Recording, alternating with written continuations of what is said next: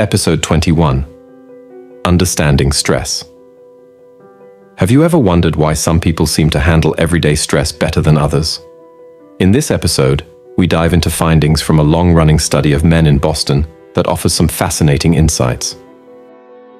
Beginning in 1961, about 1,300 men joined a study that would span 50 years, exploring factors that might affect their longevity. Researchers examined both major life events, like divorce or accidents, and small daily hassles, like traffic or cooking, shedding light on how different kinds of stress impact our lives. Here's what surprised everyone.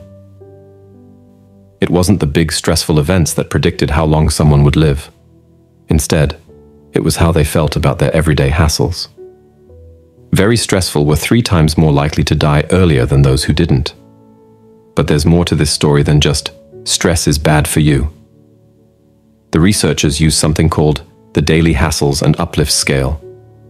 This tool lists 53 normal things in life like your relationship with your spouse, your work, the weather, cooking, being part of community groups.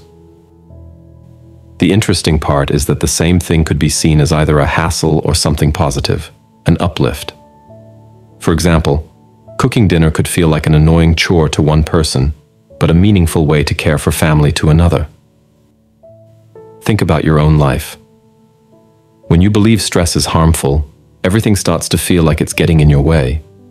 Waiting in line at the store, rushing to finish work, or planning family events can all start to feel like threats to your happiness.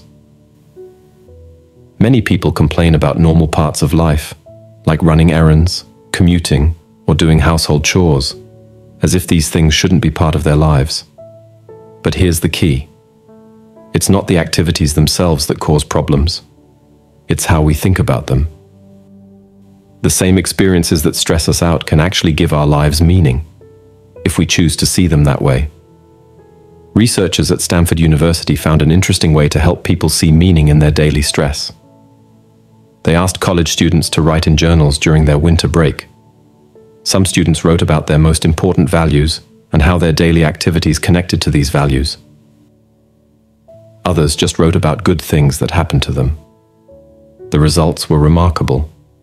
Students who wrote about their values got sick less often, felt more confident about handling stress, saw their daily activities as more meaningful.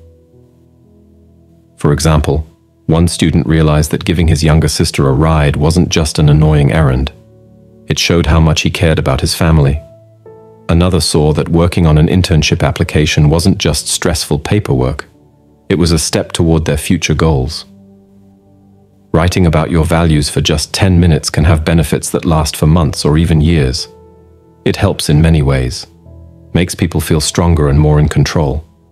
Helps them feel more connected to others improves grades in school, reduces visits to the doctor, helps with mental health, makes it easier to make positive changes, like losing weight or quitting smoking. Why does such a short exercise have such long-lasting effects? When people connect their daily activities to their values, they start to see themselves differently. They begin to believe they can handle difficulties. Instead of avoiding challenges, they face them. Most importantly, they start to see meaning in stressful situations. The lesson here isn't that we should try to remove all stress from our lives. That's impossible and not even desirable. Instead, we should try to change how we view our daily challenges. Each stressful moment can be an opportunity to express what matters to us. For example, a busy morning getting kids ready for school can show your dedication to family a challenging work project can demonstrate your commitment to growth. Even dealing with traffic can be a chance to practice patience. When we connect our daily hassles to our deeper values, they transform from meaningless stress into meaningful experiences. This doesn't make the stress go away, but it changes how it affects us. Next time you feel stressed about everyday things, try asking yourself, how does this connect to what I care about? What values am I expressing by doing this? How might this challenge help me grow? Remember, a meaningful life isn't stress-free. It's full of experiences that matter to us. By changing how we think about daily stress, we can turn our hassles into sources of meaning and growth. This doesn't just make us healthier, it makes our lives richer and more purposeful. The key isn't to avoid stress, but to find the meaning hidden within it. When we do this, we don't just survive our daily challenges, we use them to create a life that feels more worthwhile and fulfilling.